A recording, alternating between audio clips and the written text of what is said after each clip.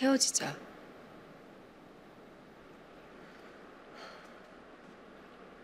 헤어지자, 주원아.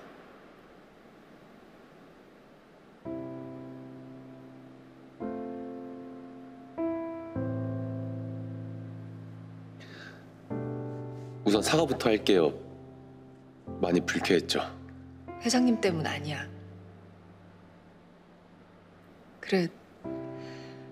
솔직히 회장님 만나고 나서 헤어지겠다고 결심한 거 맞아. 하지만 자기 배경 알게 된 뒤부터 언젠간 이렇게 해야 된다고 생각했어. 그게 지금인 거고. 나랑 헤어질 생각을 했었다고?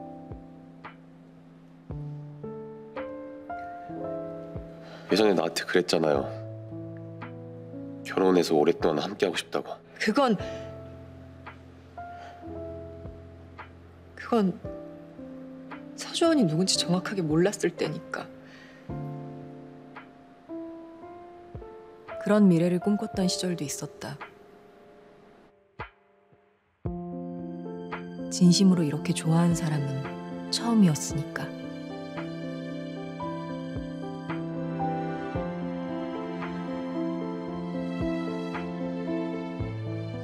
배경 같은 거 보지 말고 그냥 나만 봐주면 안 돼요?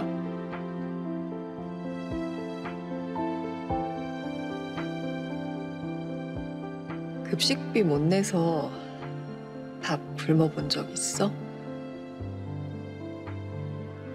등록금 때문에 아르바이트 해본 적도 없을 거고 취업 걱정 해본 적도 없겠지. 우린 너무 달라. 회장님 잘못하신 거 없어.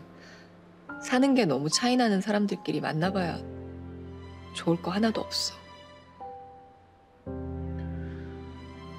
백마탄 왕자님은 내 쪽에서 거절이야.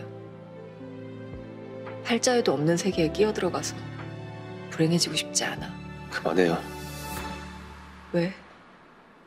이런 말 듣기 싫어? 그게 아니라 난 괜찮아요. 난 괜찮은데 왜 자꾸 스스로를 불행한 사람으로 만들어요? 말하면서 제일 괴로울 사람은 본인이잖아요.